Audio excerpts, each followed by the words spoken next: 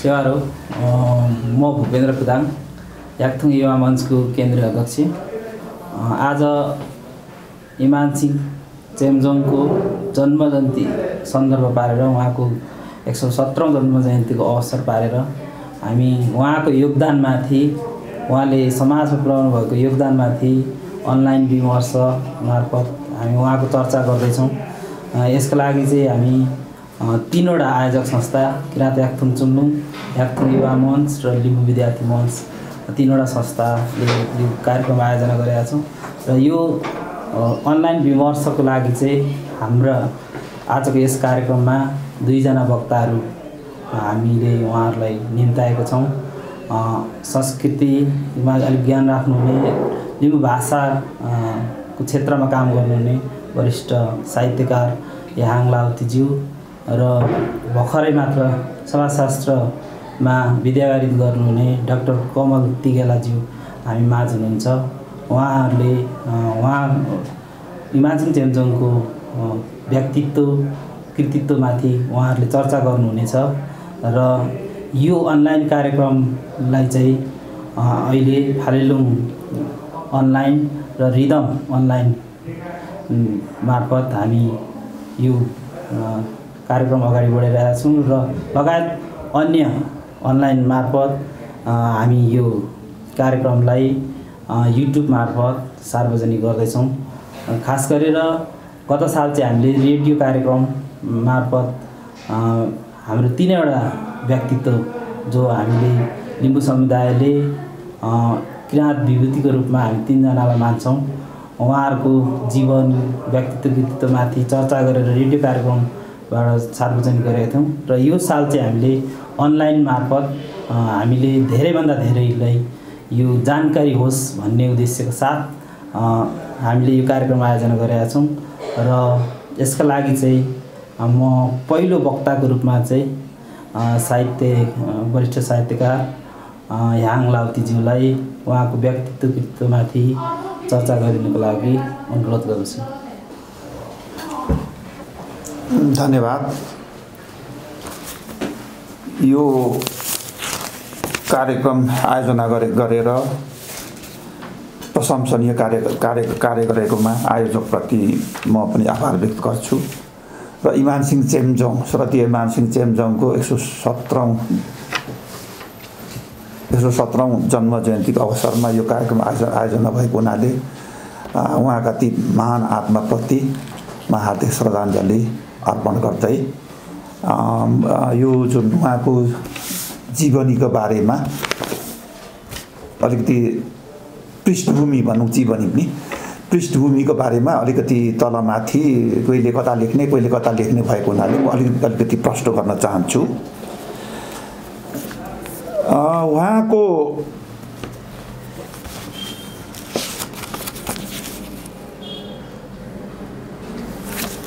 उहाँको चाहिँ के अरे के बाजे पान्थर सिंह। पान्थर सिंह चाहिँ भैरव दल गण गण जस्तो नेपालको सेना नेपाली सेनामा सुविधार हुनुहुन्थ्यो। त्यो चाहिँ जङ्गबहादुर राणा चाहिँ प्रधानमन्त्रीत्व कालमा रहेछ। जङ्गबहादुर राणाको प्रधानमन्त्रीत्व कालमा सुबेदार हुनुहुन्थ्यो। अनि लिम्बुवानमा चाहिँ जम्मा दसवटा चाहिँ आगे सुब्बा त्यतिखेर आगे सुब्बा लालमोरिया मुख्य चाहिँ। आगे सुब्बा चाहिँ बनाउने भएछ जङ्गबहादुरले। त्यो बनाएपछि तिर्थुमको लाहाङ भन्ने होला। तिर्थुम लाहाङ एकजना अनि जुन के अरे के भन्छ पान्थर सिंह एकजना तिमीहरू चाहिँ जाऊ गाउँमै के अरे के अरे बरु काम गर तिमीहरू चाहिँ जाऊ सुब्बा गएर बस भनेपछि आगे सुब्बा भनेर पठाएछ। पठाएपछि चाहिँ यो रणोदीप सिंहलाई चाहिँ जुन यो वीर शमशेरले माहरूले मार्यो यही यही काण्डमा हो क्या अरे यो काण्ड भएपछि के भने जङ्गबहादुर राणाको दुई दुईवटा छोरा चाहिँ पूर्व भागेछ पूर्व भागेछ अनि पूर्व भाग्दाखेरि चाहिँ के गरेछ भने त्यहाँ यो लाहाङ भन्नेलाई चाहिँ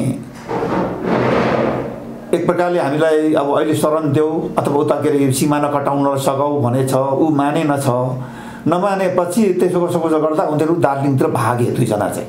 दार्जिलिङ भागे। दार्जिलिङ भाग्दाखेरि चाहिँ यताबाट के अरे यो जुन गुप्तचरहरूले चाहिँ के गर्यो भने यिनीहरूले चाहिँ सहयोग गरेर भगायो। भन्ने खालको गुप्तचरले प्रतिवेदन पेस गर्यो यहाँ।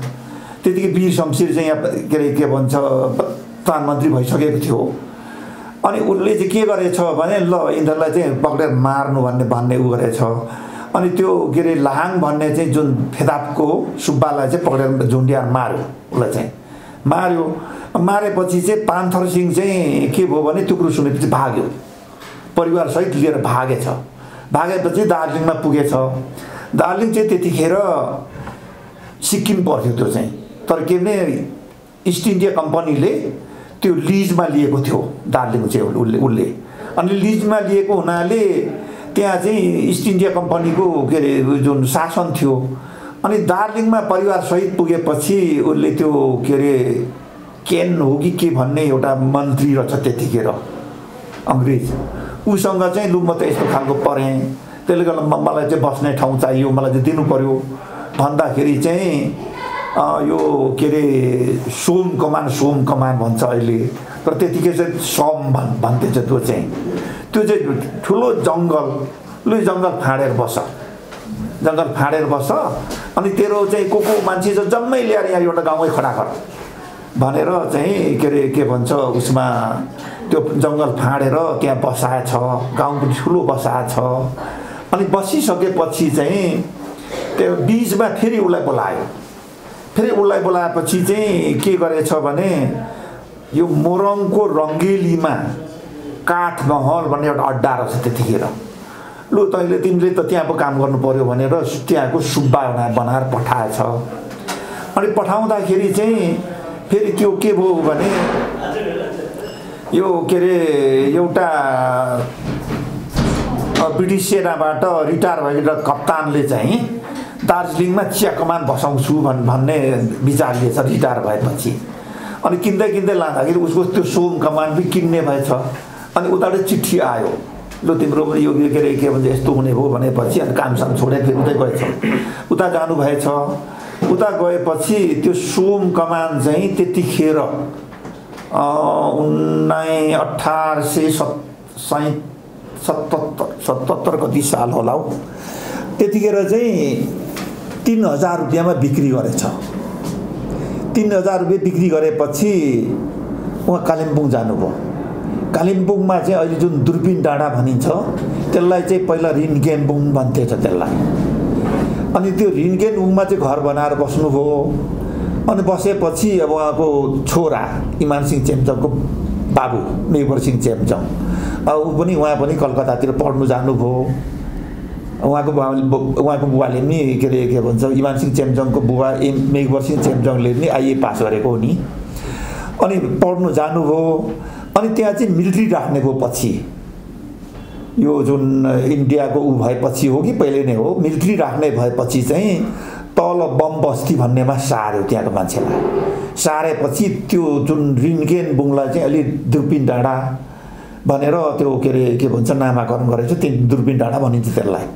अनि त्यो लोवर बम बस्ती भन्छ के अरे त्यो बम बस्तीमा उहाँको त्यो मेघवर सिंह चेम्जङ छोराको पालो आयो। त्यो पान्थर सिंहको होइन पान्थर सिंहको छोरा मेघवर सिंह इमान सिंहको बाबु उहाँले चाहिँ त्यहाँ घर बनाउनु अहिले बनाउनु भएको अहिले पनि घर छ उहाँहरूलाई त्यहाँ कोठी घरे भनिन्छ कोठी भनेको त्यतिखेरको के हो भने राम्रो घरलाई मात्र कोठी भनिन्थ्यो मैले उता इन्डियातिर मैले जानेको अहिले पनि कोठी घरे नै भनिन्छ उहाँहरूलाई त्यो उहाँको घर छ निकै राम्रो छ मैले फोटो खिचेर ल्याएको थिएँ तर यहाँ त ल्याइनँ मैले त्यो कुरो चाहिँ अनि त्यहाँ के अरे उहाँले त्यो के अरे बसेपछि उहाँले चाहिँ प्रारम्भिक चाहिँ त्यही माथि दुर्पिन डाँडाकै अहिलेको दुर्पिन डाँडा रिन्केन बुङकै प्राइमरी स्कुलबाट पढ्नुभयो अनि पढेपछि पछि गएर उहाँले के अरे के भन्छ एसएलसी चाहिँ के भन्ने थियो उहाँको सर्टिफिकेट ल्याएको छु मैले उन्नाइस सय छब्बिस सालमा चाहिँ उहाँले मेट्रिक पास गर्नुभएको होइन युनिभर्सिटी अफ कलकत्ता कलकत्ताबाट त्यो युनिभर्सिटीले प्रकाशित गर्छ गर्थेछ त्यतिखेर मेट्रिक पनि। मेट्रिक पनि यो। मेट्रिकुलेसन एक्जामिनेसन भन् भन्दैछ होइन?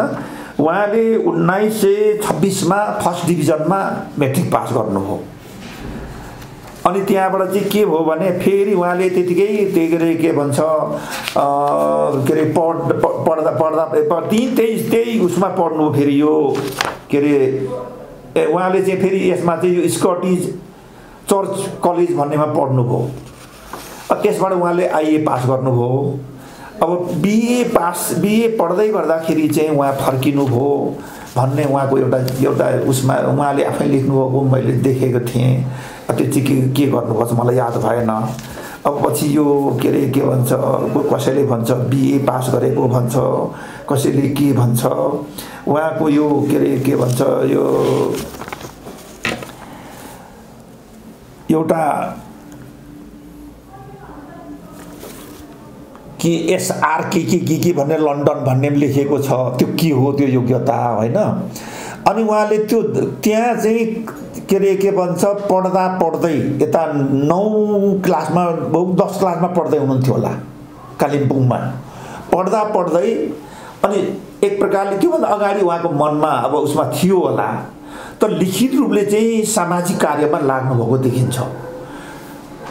छब्बिस जुलाई उन्नाइस सय पच्चिसमा जुन कालिम्पोङमा याक्थुङहाङ चुम्लुङ ख के अरे गठन भयो त्यसमा उहाँ सदस्य हुनुहुन्छ। र उहाँकै ठुलो भूमिका छ भन् भन्ने त्यहाँको मान्छेहरूको भनाइ छ। उहाँहरूकै उसले चाहिँ बुढाहरूलाई चाहिँ भेला गराएर अनि त्यहाँबाट उहाँले पढाउनु के अरे के भन्छ त्यहाँ जुन याक्थुङ याक्थुङहाङ चुम्लुङ भन्ने खडा गर्यो भन्ने कालिम्पोङका मान्छेहरूले भन्छन्। अनि त्यतिखेर चाहिँ उहाँले उहाँको काका अब नुहाङ चेम्जङ भनेर भने भनेको छ। उहाँको आफ्नै काका अर्को काका हो। उहाँ लेखेकोमा त्यो पाइन्छ। त्यतिखेर उहाँले चाहिँ के भने आफ्नो लिपि चाहिँ उहाँले जान्नुभएको थियो। तर के भने भाषा नबुझ्ने? भाषा नबुझ्ने किनभने उहाँको आमा लाप्चेनी हो कालिम्पोङमा हुर्किएको अनि भाषा नबुझ्ने अनि उहाँले चाहिँ एउटा के अरे काकाले दिनुभएको पुरानो कागज चाहिँ त्यहाँ लगेर पढ्नुभयो त्यहाँ पढेपछि के भने यो त के अरे त्यहाँ बुढाहरूले त कुरा त बुझ्यो पढ्नु त जानेन।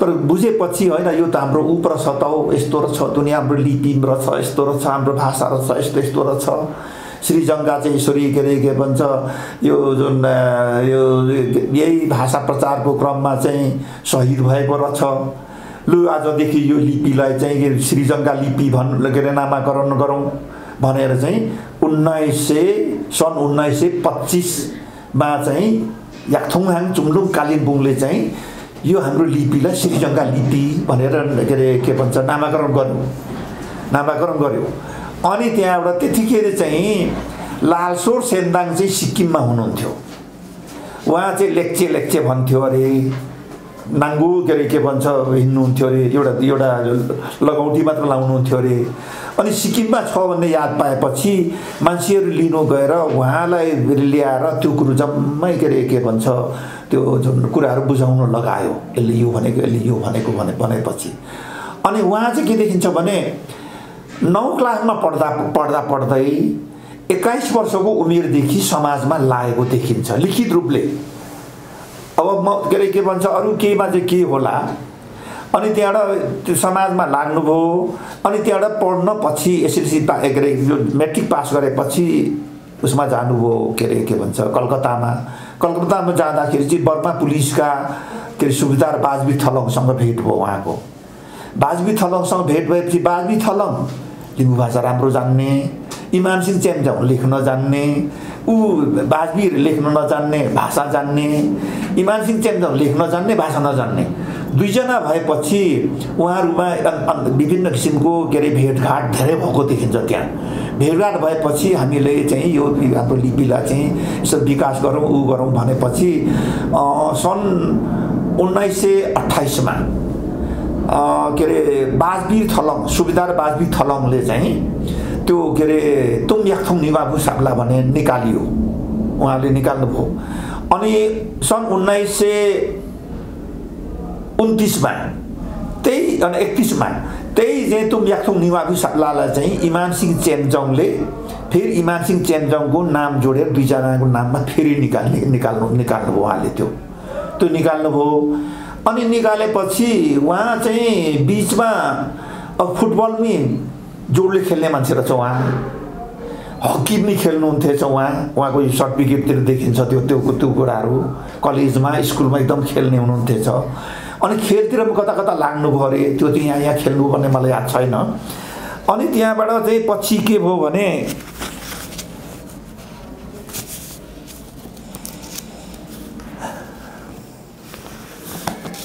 यो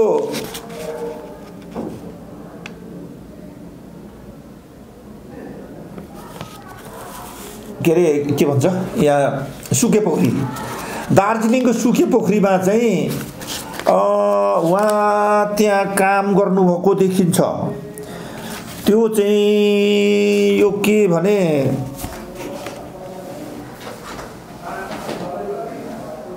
उन्नाइस सय एकतिस। त्यो बिचको अरू याद पाइँदैन। उन्नाइस सय एकतिसमा चाहिँ यो के अरे दार्जिलिङको सुके पोखरीमा उहाँ त्यहाँ एउटा के अरे बोर्डिङ स्कुलमा पढाउनु थाल्नुभयो हेड मास्टर पढाउनु थाल्नुभयो। यो अवस्थामा चाहिँ यहाँ के अरे के भन्छ महागुरु फाल्गुनन्दले चलाउनु भएको अभियान लब्रेकुट्टीको तिलिङचौङ त्यहाँ के अरे के भन्छ सत्य धर्म मुचुल्का हुँदा उहाँ त्यहाँबाट यता आउनुभएको देखिन्छ। उहाँले त्यहाँ भाषण गर्नुभयो अरे के के भन्ने सुनिन्छ। त्योभन्दा अगाडि चाहिँ के छ भने उहाँले एक प्रकारले लिम्बुवानमा निकै ठाउँमा डुलेको पनि देखिन्छ। अनि त्यहाँबाट के भयो भने तपाईँको त्यहाँबाट काम गर्दा गर्दै उहाँले उन्नाइस सय एकतिसदेखि छ अगस्त उन्नाइस सय एकतिसदेखि चौध जुलाई उन्नाइस सय त्रिचालिससम्म चाहिँ यो स्कटी मिस मिसिनरी मिडल स्कुल सुकियामा काम गर्नुभयो। त्यो हुँदा हुँदा सिक्किमको चाहिँ त्यतिखेर काजी भन्नेहरू थिए। उनीहरूको एउटा आफ्नो आफ्नो स्टेट रहेछ त्यो स्टेट एउटा स्टेटको काजी एउटा स्टेटको काजी त्यस्तो हुने रहेछ र फाक्छिरिङ का काजी भन्नेसँग भेट भयो उहाँको। उहाँ भेट भएपछि फाक्छिरिङ काजीले चाहिँ अब एक प्रकारले उहाँको प्रतिभा उहाँको केही सुनेर होला। लु जानुपर्छ मेरो उसमा पो के अरे के भन्छ तपाईँ जस्तो मान्छे मलाई चाहिन्छ भनेर गिजिङमा लानुभयो उहाँलाई। गेजिङमा लगेपछि गेजिङमा त्यो एउटा स्कुल खोलेर उहाँ पनि त्यहाँलाई नै त्यहाँ पनि उहाँलाई हेड मास्टर नै बनाइयो। हेड मास्टर बनाइयो। अब गेजिङ भनेको अहिले नै एक प्रकारले सानो बजार छ।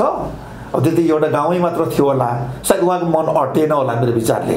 किनभने कालिम्पोङमा हुर्किएको मान्छे कलकत्तामा पढेको मान्छे कस्तो ऊ लाग्यो होला। कसो कसो गरेर तपाईँको एक वर्ष जस्तोमै यो के अरे सन्टासी नामका मेमोरियल हाई स्कुल यो गान्तोकमा सिक्किमको राजधानी गान्तोकमा उहाँ सर्नुभयो। त्यहाँ सरेपछि त्यहाँ चाहिँ के भयो भने यो के अरे पदमसिंह बुरिङला मनबहादुर खाम्था सन्त सन्त वीर खाम्था तिनजना त्यतिखेर लिम्बू लिम्बू पढे लेखेका अनि के अरे के भन्छ अब आफ्नो इच्छा पनि भएका मान्छेहरूसँग भेट भएपछि उहाँले चाहिँ के गर्नु भने भाषा पनि जान्ने राम्ररी बोल्नु जान्ने सङ्गत पनि पाएपछि उहाँलाई हौसला भएछ हौसला हुँदै हुँदै गएपछि अडचालिसमा उन्नाइस सय सन् उन्नाइस सय अडचालिसमा किराँत इतिहास भनेर उहाँले प्रकाशित गर्नुभएको देखिन्छ त्यो किराँत इतिहास प्रकाशित गरेको चाहिँ त्यसमा उहाँको सन्दर्भ ग्रन्थहरू हेर्दाखेरि उहाँले पाँच थर धनपुटा जम्मै डुलिसक्नु भएको छ पहिले नै। किन उहाँले त्यतिखेर त हिँडेर जाने हो? जम्मै त्यो सन्त ग्रन्थ हेर्दाखेरि पाँच त धनकुटा तेर्थुम कता कता बिचबिचमा आउनुभएको रहेछ। अनि उहाँले त्यो निकालेपछि अनि उहाँलाई के भयो भने तपाईँको सिक्किममा एउटा आन्दोलन भयो। आन्दोलन भएपछि त्यो मास्टरलाई चाहिँ रेभेन्यू इन्सपेक्टर भनेर उहाँलाई पश्चिम पश्चिम जिल्ला खटाइयो। अनि खटाइयो अनि रेभेन्यू इन्सपेक्टर चाहिँ हुँदाखेरि के भने पश्चिम जिल्ला त जम्मै लिम्बू लिम्बू गाउँ सिक्किममा। ठाउँ ठाउँमा डुलेर उहाँले ठाउँ ठाउँमा डुलेर चाहिँ लिपिको बारेमा भाषाको बारेमा इतिहासको बारेमा उहाँले घर घरमा गएर यो जुन के अरे कुरा गर्नुभएको सम्झाउनु भएको कुराहरू चाहिँ पदमसिंह मुरिङला बिबी मुरिङला उहाँले लेख्नु लेख्नुभएको लेखहरूबाट देखि देखिन्छ। गाउँ गाउँ गाउँमै घुम्नुभएको। अनि त्यसमा चाहिँ के भइदियो भने उहाँले इतिहास लेख्दाखेरि एउटा सिक्किमको त्यतिखेरको प्रधानमन्त्री जस्तो के देन साप्पा भन्नेसँग सम्पर्क के के देन साप्पा भन्ने के अरे के भन्छ सँग सम्पर्क गरेर दरबारभित्रको कागजहरू निकालेर पनि उहाँले लेख्नु भएछ त्यो लेख्दा चाहिँ के भने श्रीजङ्गा ते अंशी चाहिँ लामाहरूले मारेको त्यहाँको के अरे के भन्छ एक प्रकारले अब लिम्बूहरू चाहिँ भड्किने भयो त्यहाँको शासनसँग। यो खालको कुराहरू बाहिर निकालेपछि उहाँलाई अलिकति असहज महसुस भएको थियो। किनभने त्यो कसैलाई याद थिएन त्यो लिम्बूलाई पनि याद थिएन अरूले याद थिएन। उहाँले त्यहाँको गजेट निकालेर लेखा निक निकाल्नुभयो। हो यो अवस्थामा चाहिँ नेपालमा पनि राणा शासन अन्त्य भएर प्रजातन्त्र घोषणा भयो। प्रजातन्त्र घोषणा भए भएपछि उहाँको सङ्गत के अरे धेरै नै भइसकेको थियो नेपालतर्फ पनि। अनि उहाँलाई चाहिँ यहाँको गण्यमान्य उहरू भएर चाहिँ जम्मा सत्र अठारजना मान्छेको देखिन्छ उहाँलाई बोलाउनु। ल तपाईँ आउनुहोस् नेपालमा। तपाईँ जस्तो मान्छेलाई चाहिँ हामीलाई चाहिएको छ। अब के अरे शिक्षा चाहिएको छ राजनीति चाहिएको छ जम्मै चाहिएको छ भनेपछि उहाँलाई चाहिँ राजीनामा गराएर यता ल्याइयो। ल्याएपछि दुई हजार नौ सालमा के अरे के भन्छ लिम्बुवान सुधार सङ्घ भने खोलेर के अरे यो जुन इलामको मालापथमा अफिस खोलिएको थियो अरे। मैले देखेको त होइन। मालापथमा अफिस लेखे अफिस खोलिएको थियो अरे। अनि उहाँ चाहिँ अध्यक्ष गणेश के अरे के भन्छ प्रसाद रिजाल उपाध्यक्ष उहाँलाई एउटा एउटा ज्ञान के थियो भने नेपालमा समावेशी हुनुपर्छ जम्मै जाति समेट्नुपर्छ भन्ने उहाँको ज्ञान थियो। अनि त्यहाँबाट के अरे के भन्छ उहाँलाई उपाध्यक्ष र अनि जुन के अरे के के प्रसाई हाम्रो यो के अरे के भन्छ उहाँको यो ऊ। उहाँलाई चाहिँ प्रधानमन्त्री त्यतिखेर एक प्रकारले प्रधानमन्त्री भने महासचिव भनेको होला। प्रधानमन्त्री नियुक्ति गरेर लिम्बुवान सुधार सङ्घले आर्थिक सामाजिक राजनीतिक सम्पूर्ण क्षेत्रमा काम अगाडि अगाडि बढाएको देखिन्छ। अनि दुई हजार नौ सालमा नि राजा त्रिभुवनलाई भेटेको इमान सिंह चेम्जोङले भेट्नुभएको देखिन्छ। लिम्बुवानको स्थितिरीतिको कुरा उठाएर। अनि दुई हजार तेह्र सालमा चौध सालमा लिम्बुवान पल्लो लिम्बुवान प्रतिनिधिमण्डलमा उहाँको उहाँको सहभागी देखिन्छ दुइटैमा। अनि उहाँको चाहिँ के भने अहिले हामीले भन्ने भने अहिले हाम्रो देश सात प्रदेशमा के अरे विभाजित भएको छ। सङ्घीयता चाहिन्छ भनेर नेपालमा सङ्घीयता चाहिन्छ भनेर चाहिँ बिजा रोपण रोप्ने अथवा त्यो आँखा देखाउने चाहिँ म इमान सिंह चेम्चङ हो भन्छु म चाहिँ। किनभने उहाँले त्यो लिम्बुवान सुधार सङ्घको जुन माग पत्रहरू लिम्बुवान सुधार सङ्घको जुन कार्यकला कार्यकलापहरू हेर्ने भने जम्मै त्यसमा त्यो कुरा देखिन्छ। आर्थिक परराष्ट्र रक्षा यातायात। बाहेक जम्मै लिम्बुवानलाई दिनुपर्छ भनेर मागहरू प्रस्तुत गर्नुभएको देखिन्छ यसमा। यो जुन के अरे यहाँ केन्द्रमा। अनि यो किसिमले लिम्बुवान सुधार सङ्घले राजनीति आर्थिक सामाजिक सम्पूर्ण क्षेत्रमा चाहिँ उहाँले चाहिँ काम गर्दै लानुभएको देखिन्छ। त्यसमा चाहिँ के भने मेरो बुझाइ चाहिँ लिम्बुवान भन्नाले उहाँले लिम्बूको लागि मात्र गरेको पनि देखिँदैन। किनभने त्यतिखेर विराटनगर विराटनगर खोटाङसम्ममा समेटेको देखिन्छ त्यो लिम्बुवान सुधार सङ्घले। तेज प्रसाद प्रसाई तेज तेज तेज बहादुर प्रसाई बहादुर तेज बहादुर प्रसाई चाहिँ प्रधानमन्त्री त्यतिखेर त्यो के अरे प्रधानमन्त्री भनेको महासचिव भनेको होला। त्यतिकै शब्द थिएन होला मा प्रधानमन्त्री भनिएको छ। अनि त्यो गरेर अगाडि बढाएको देखिन्छ। उहाँलाई मैले भेटेँ थिएँ एकपल्ट त्यो तेजबहादुर प्रसाईलाई पनि मैले सोधेको थिएँ। सत्र सालसम्म चाहिँ के अरे गतिविधि थियो। सत्र सालमा पञ्चायत व्यवस्था आएपछि यो विभिन्न संस्थाहरू बन्द गरेको हुनाले बन्द भएको भनेर भन्नुभएको थियो। अनि यो किसिमले आर्थिक सामाजिक राजनीति सम्पूर्ण क्षेत्रमा चाहिँ अगाडि बढाएको देखिन्छ। यो चाहिँ के भने त्यो लिम्बुवानलाई मात्र चाहिँ भन्नु खोजेको होइन। किनभने लिम्बुवानमा चाहिँ लिम्बू जाति चाहिँ पछाडि पर्यो भने देश नै पछाडि पर्ने हो नि त। त्यसले सम्पूर्ण जातिलाई चाहिँ अगाडि उठ्नुपर्छ भन्ने चाहिँ उहाँको त्यो ऊ देखिन्छ। अनि उहाँले किराँत किराँत किराँत जीवामी किराँत किराँत किराँत लेख्नुभएको देखिन्छ। त्यो किराँत चाहिँ मेरो बुझाइमा चाहिँ के भने अहिलेको भनाइले आदिवासी जनजाति। त्यो शब्द थिएन त्यतिखेर। उहाँको प्रस्तुति त्यो त्यो लेखाइले चाहिँ मेरो बुझाइले त्यो भन्नु खोजेको देखिन्छ। किराँत किराँत किराँत जम्मैमा किराँतै किराँत किराँत किराँत भनेर उहाँ लेख्नुभएको छ। अनि यो किसिमले अगाडि गर्दै गए गएपछि सत्र सालमा आएपछि यो गतिविधि बन्द भयो। बन्द भएपछि उहाँले चुनाव नै लड्नुभयो यो पनि भनौँ होला। चुनाव नै लड्नुभयो प्रजातान्त्रिक के भन्ने पार्टीबाट। त्यस तेइसमा लड्नुभयो सात सय चौतिस अडतिस भोट होला हौ। अड अडतिस भोट उहाँले ल्याउनु भएको छ भोट पनि। अनि र पनि उहाँको के भने अब त्यतिखेर सायद नेपाली काङ्ग्रेसको कसको के अरे मिठो मिठो भाषणले हाम्रो मान्छेले अल्मल्यौला भोट दिएन हाम्रो मान्छेले। उता जागिर त छोडेर आयो। र पनि उहाँले मन दुखाउनु भएन। काठमाडौँ आउनुभयो। काठमाडौँमा आएपछि काठमाडौँमा आएपछि अब कसो कसो गर्दा त्रिभुवन विश्वविद्यालयमा किराँत भाषा तथा साहित्य विशेषज्ञ भनेर उहाँ नियुक्ति हुनुभयो अब यो कुरो चाहिँ भूतपूर्व मन्त्री पूर्णकुमार शेर्माको भनाइअनुसार चाहिँ के अरे भने यो आरके स्प्रिट लन्डन के अरे युनिभर्सिटीको जुन यहाँ आउनुभएको थियो उसले चाहिँ राजा महेन्द्रलाई भेट्यो अरे अनि भेटेपछि यस्तो विद्वान मान्छे यहाँ छ उसलाई चाहिँ त्यस्तो दिँदा हुन्छ भनेपछि दिएको भनेर चाहिँ पूर्णकुमार शेर्माले भन्नुभएको छ एउटा अन्तर्वार्तामा मैले गरेको अनि त्रिभुवन युनिभर्सिटीमा उहाँ लाग्नुभयो किराँत भाषा भाषा तथा संस्कृति विशेषज्ञ भनेर अठार सालमा। अठार सालमा लाग्नुभयो। यहाँ लागेपछि उहाँले विभिन्न विषयका किताबहरू लेख्नुभयो। अब मैले यहाँ लिस्ट ल्याएको छु तर यहाँ लाउँदा लामो हुन्छ होला। जम्मा सत्रवटा छ। यसबाहेक के अरे यो यो प्रकाशित किताबहरू हुन् सत्रवटा। अनि यसबाहेक अरू पनि उहाँको लेखहरू थुप्रैवटा पाइन्छ पाइएछ अहिले।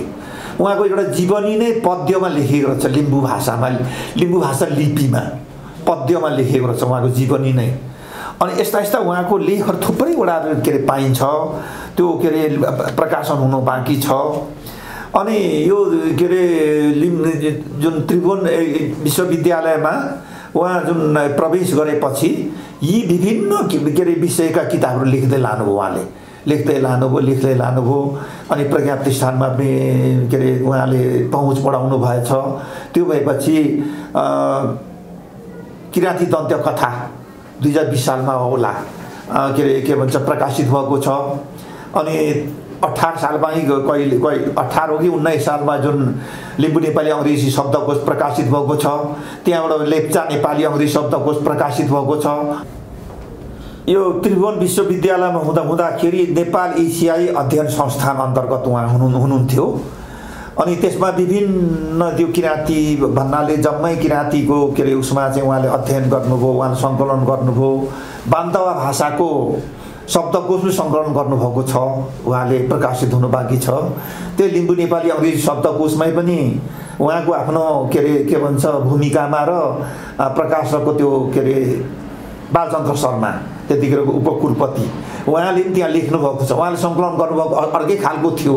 तर यो चाहिँ के अरे के भन्छ केवल के अरे किराँती भाषा अन्तर्गत यो चाहिँ के अरे लिम्बू लिम्बू भाषाको शब्दकोश हो भने उहाँले लेख्नुभएको छ। अनि इमान सिंह चेम्जङले पनि मैले सङ्कलन गरेँ अर्कै खालको थियो। त्यहाँ जुन के अरे उपकुलपतिको के अरे सल्लाहअनुसार मैले यो यो प्रकाशित गरेको हुँ भनेर उहाँले लेख्नुभएको छ। त्यो चाहिँ के हो भने किराँती भाषा नै एउटै बनाउने उहाँको सुर छ। किनभने सानो सानो छरेर रहँदाखेरि चाहिँ हाम्रो के अरे हामी कमजोर हुन्छौँ भन्ने उहाँको सोच सोच हो कि के हो त्यो खालको रहेछ। अनि पछि चाहिँ बान्तको लागि अलग छो छोड्नु भएको छ। अनि के अरे अलग राख्नुभएको छ। यो किसिमले काम गर्नुभयो। अब यो के अरे के भन्छ उहाँको कृतिको बारेमा उहाँ उसको बारेमा म लामो नभनौँ किनभने यो निकै लामो छ। अब मैले चाहिँ एउटा सौभाग्य उहाँसँग मैले सङ्गत गर्नु पाएँ। म सानो हुँदै मैले के अरे इमान सिंह चेम्जङ हुनुहुन्छ भन्ने मैले सुनेको थिएँ। उहाँको गतिविधिको बारे मैले सुनेको थिएँ। तर पछि मैले मैले उहाँसँग के अरे सङ्गत गर्नु पाएँ दुई तिन वर्षसम्म। उहाँ चाहिँ कस्तो हुनुहुन्थ्यो भने अति फर्साइलो कस्तो फर्साइलो भने हामी गफसप लगायौँ लगायौँ र के अरे के भन्छ उहाँलाई स्वाद आयो भने ठुल्ठुलो हाँस्ने। आँखा आँखा एकदम हँसाएर उ गरेर हाँस्ने एकदम। अनि अति राम्रो अति साह्रो बनिने जुत्ता टिलिक्कै टल्केको लाउने अनि सुट टाई लगाउने अनि टोप लगाएर हिँड्नुहुने उहाँ। जहिले पनि टोप लगाएर हिँड्नुहुन्थ्यो। अनि दार्जिलिङमा उहाँ बिचवुड हाउसको कोठा नम्बर बिस जस्तो लाग्छ मलाई। कोठा नम्बर बिसमा उहाँ उहाँको निवास थियो। हामी नेपालको सिक्किमका कालिम्पोङका आसामका जहाँ जहाँ हामी के अरे के भन्छ मान्छे जम्मा हुन्थ्यौँ। जम्मा भएपछि उहाँलाई त्यहाँबाट निकालेर लान्थ्यौँ। निकालेर लगेपछि तल लगेर कहिले चुम्लुङमा पुर्याउँथ्यौँ। चुम्लुङबाट चाहिँ पर के अरे बिएम चेटर्जी रोड रोड हुँदै उता घुमेर गभर्नर्स हाउस त्यो पहिला अङ्ग्रेजको पालामा त्यहाँ गभर्नर बस्ने ऊ छ नि त यो के अरे के भन्छ गर्मी महिना बस्ने। त्यहाँबाट यस्तो घुमेर हामी उता जान्थ्यौँ। उता गएपछि माथि के अरे हाम्रो बस्ने ठाउँ चाहिँ के अरे चौरस्ता। चौरस्तामा चाहिँ हामी सिक्किमपट्टि फर्केर बस्थ्यौँ। अनि उहाँले चाहिँ म सिक्किममा हुँदा यहाँ यसो गरेँ यहाँ यसो गरेँ यस्तो मान्छेसँग भेट भयो उस्तोसँग भेट भयो भनेर उहाँले के अरे हामीलाई सुनाउनुहुन्थ्यो। अनि हामीले चाहिँ आफ्ना आफ्ना किसिमका प्रश्नहरू तयार पारेर लान्थ्यौँ। म एक हप्तामा निकै लामो लामो लेखेर लान्थेँ। त्यो कुरोहरू म सोध्थेँ। अरूले पनि सोध्ने मान्छे थुप्रै हुन्थ्यो। अनि हाम्रो एउटा चाहिँ अनौपचारिक एउटा निर्णय के थियो भने हामी एउटा शब्द पनि नमिसाइ लिम्बू भाषा मात्र बोल्ने। उहाँले अगाडि अगाडि लगाएर हिँड्थ्यौँ। ठ्याक्कै टोप लाउने अनि सुटाइ कस्ने अनि त्यहाँबाट हामी पछि पछि दस पन्ध्रजना पनि हुन्थ्यौँ कहिले कहिले अनि मान्छेले हामीले यसो फर्केर हेर्थ्यो। त्यसले के बोलेको होला जस्तो मान्थ्यो जस्तो लाग्छ मलाई चाहिँ। अनि हामी के अरे हिँड्दै हिँड्दै हिँड्दै हिँड्दै हिँड्दै फेरि उहाँको घरसम्म पुर्याउँथ्यौँ उहाँलाई अनि यो किसिमले चाहिँ हामी उहाँसँग के अरे के भन्छ सङ्गत गऱ्यौँ समय समयमा हाम्रो के अरे के भन्छ यहाँ के अरे काठमाडौँबाट म फल्ना दिन आउँछु यो के अरे के भन्छ उसमा आउँछु तिमीलाई भेटमा आउँदा हुन्छ भनेर मलाई चिठी लेख्नुहुन्थ्यो अनि म जान्थेँ अनि म बिहानै जान्थेँ अनि यहाँ त्यहाँ एउटा के अरे बस बस स्ट्यान्डमा एउटा मकर्नीको होटल थियो। त्यहाँ खाना खान्थेँ। अनि त्यहाँबाट उहाँलाई भेट्नु जान्थेँ माथि। त्यस्तै किसिमले हाम्रो हाम्रो चल्थ्यो। सधैँ सधैँ हामी त्यहाँ भेट हुन्थ्यौँ। त्यही गर्थ्यौँ। अनि त्यहाँबाट उहाँको चाहिँ एउटा के अरे के भन्छ के हो भने मलाई लाग्छ उहाँको मन अति नै ठुलो हो। अब यहाँ म भन्दिनँ कतिवटा कुरा चाहिँ अब उहाँलाई के अरे के भन्छ धोका भएको छ। तर कुनै दिन यस्तो कुराहरू गर्नु भएन हामीले। हामीसँग एकदम राम्रो मात्र कुरा गर्नुहुन्थ्यो। ए म फल्ना ठाउँमा फल्नालाई भेट्दा यस्तो हुन्थ्यो फल्नालाई भेट्दा यस्तो हुन्थ्यो भनेर उहाँले उहाँले भन्- भन्नुहुन्थ्यो अनि ठुल ठुलो हाँस्नुहुन्थ्यो। अनि त्यहाँबाट के अरे अझ ओभरकोट लाउनुहुन्थ्यो उहाँले धेरै जस्तो त। ओभरकोट लाएर हिँड्नुहुन्थ्यो उहाँले अगाडि अगाडि लगाएर हिँड्थ्यो। अनि त्यहाँबाट अन्तिममा हामीले एउटा के गऱ्यौँ भने हामीले पत्र मित्री अभियान एउटा चलायौँ। लिम्बू भाषा साहित्य अलिकति के अरे के भन्छ विकास गर्नुपर्छ। तपाईँले यत्रो वर्ष काम गर्नुभयो। हाम्रो मान्छेले हाम्रो मान्छेले अलिकति स्वीकार गरेको नगरेको नबुझेको हो कि? भन्ने किसिमले उसमा हामीले एउटा के अरे पत्र मित्र अभियान गरे सञ्चालन गरेको थियौँ। दिनमा के अरे के भन्छ म त म त तिसवटा जति जति चिठी लेख्थेँ त्यतिखेर। अनि त्यहाँबाट यो अभियानले निकै नै जिज्ञासा जाग्यो। जागेपछि अनि हामीले एउटा प्रस्ताव विशेष गरी मैले नै भनेको थिएँ। अब लेखेर नहुने भयो। अब हामीले प्रेस बनाउनु बन- बनाउनु पर्छ भनेपछि उहाँको अगुवाईमा हामीले प्रेस बनाउने योजना बनायौँ। प्रेस बनाउने योजना बनायौँ। उहाँले के भन्नुभयो भने हामीले मेसिन सेसिन नकिन्ने खालि त्यो के अरे गोटी मात्र बनाउने। किनभने जस जुनसुकै प्रेसमा लगेर पनि हुन्छ। हामीले त्यो जुन के अरे मेसिन चाहिँ पछि किनौँला भनेपछि हामीले के अरे के गऱ्यौँ भने उहाँकै जेठान हेमचन्द्र प्रधान भन्ने हुनुहुन्थ्यो दार्जिलिङमा जहिले तहिले दौरा सुरुवाल लाउने मास्टर हेड मास्टर उहाँलाई चाहिँ प्रेस सम्बन्धी ज्ञान भएको हुनाले उहाँसँग सल्लाह लिने भनेर उहाँसँग हामी सल्लाह लियौँ। सल्लाह लिएपछि ता के अरे तेह्र सय रुपियाँ ए तेह्र हजार तेह्र हजार भारी उहाँ चाहिँ बन्ने भयो। बन्ने भयो र बनारसको कुनै के फाउन्ड्री भन्नेमा हामीले जिम्मा दिएको थियौँ। पछि त्यसको चाहिँ लिटर प्रेसको कुरा त्यतिखेर त्यसको चाहिँ एउटा के फ्रेम हुँदो रहेछ दुलो भएको। छत्तिसवटा फ्रेम आएको थियो। त्यसमा चाहिँ त्यो जुन राङ काटेर काट्ने अक्षर काट्ने।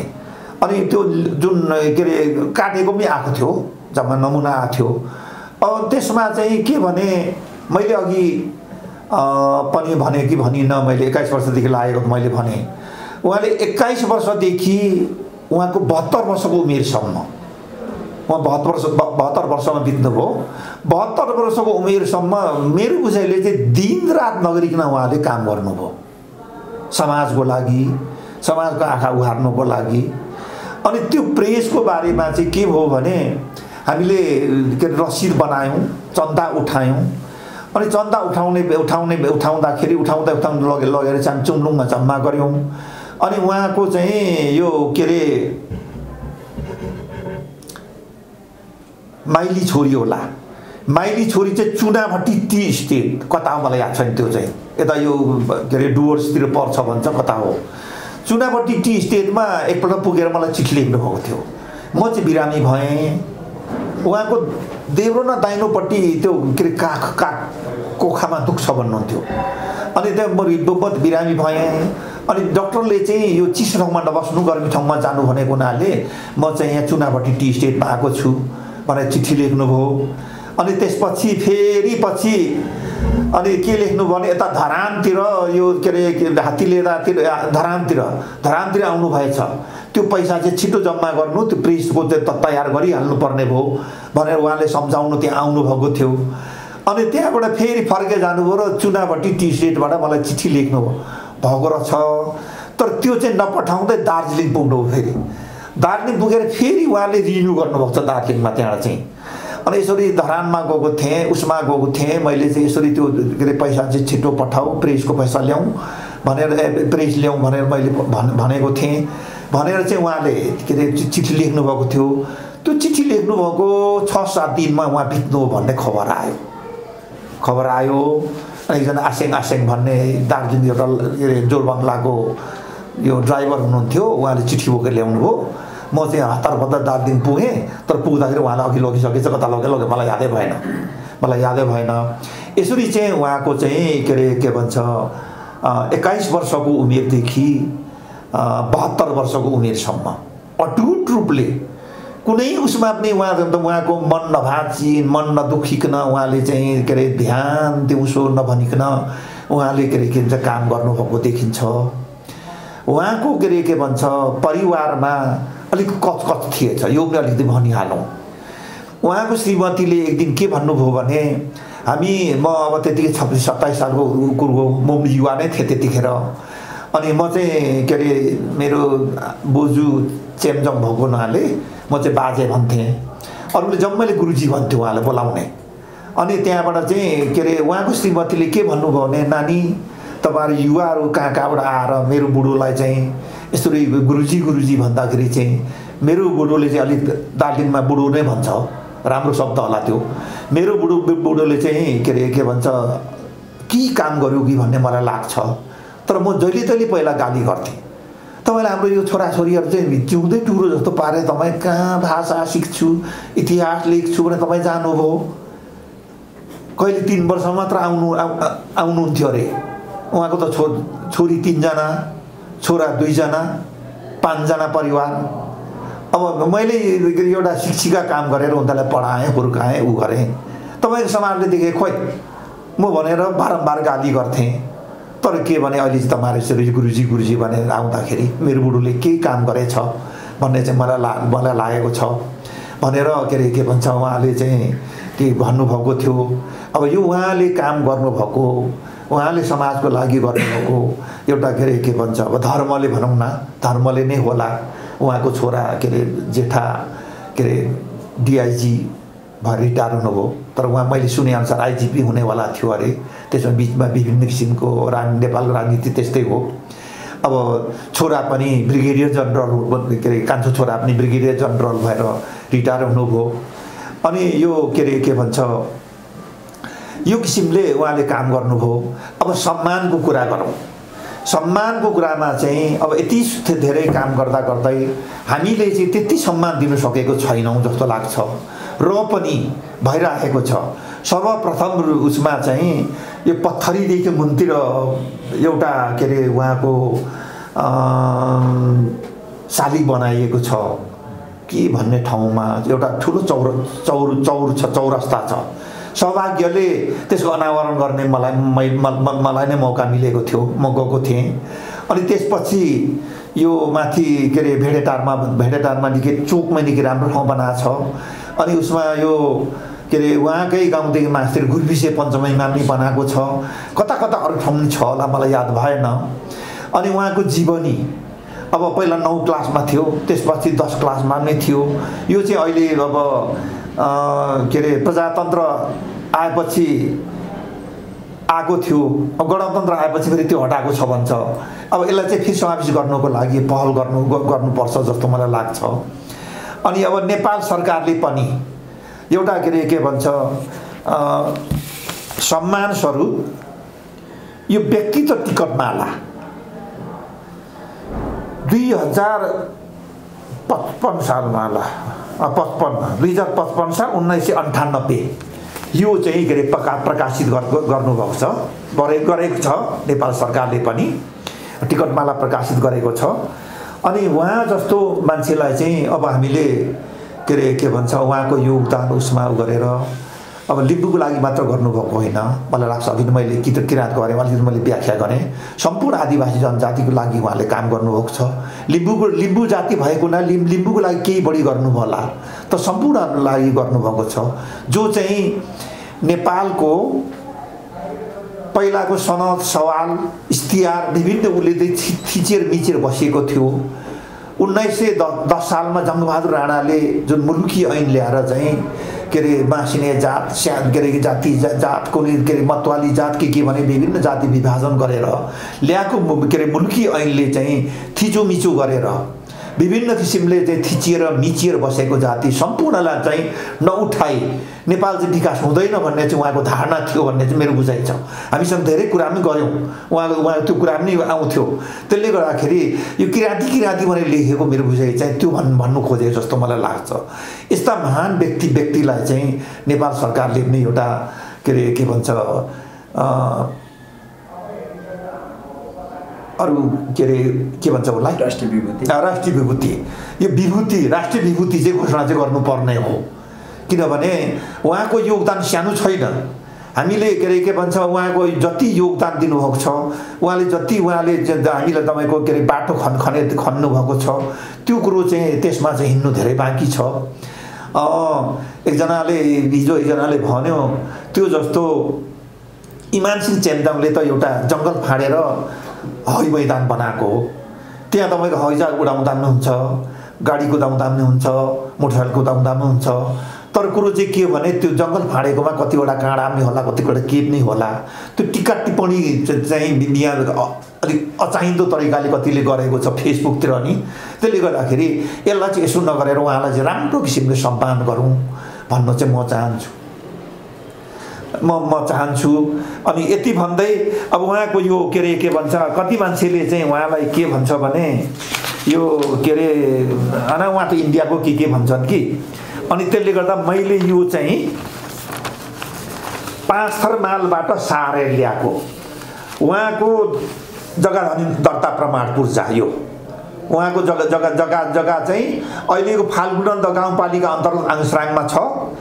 आङसराङमा चाहिँ उहाँको जग्गाहरू अहिले पनि छँदैछ उहाँ नेपालकै मान्छे हो। उहाँ चाहिँ मैले अघि कसरी उहाँ उहाँको बाजे उता जानु हो भन्ने कुरा पनि मैले भनेँ।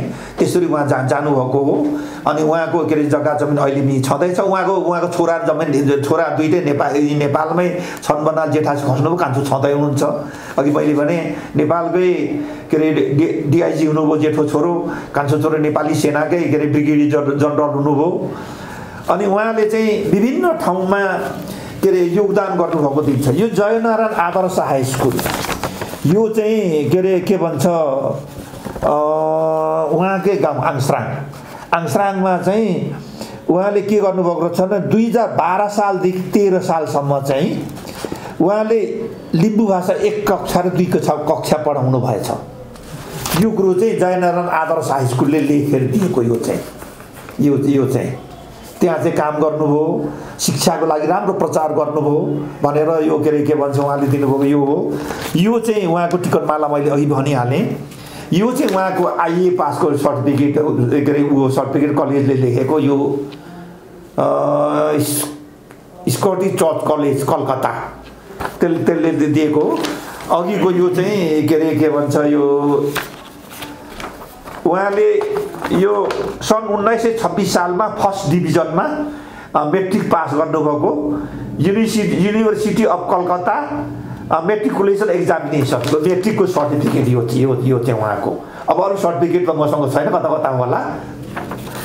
यति भन्दै अब मैले चाहिँ फेरि पनि के अरे के भन्छ यो कार्यक्रम आयोजना गरेकोमा आयोजकप्रति धन्यवाद व्यक्त गर्दछु। धन्यवाद।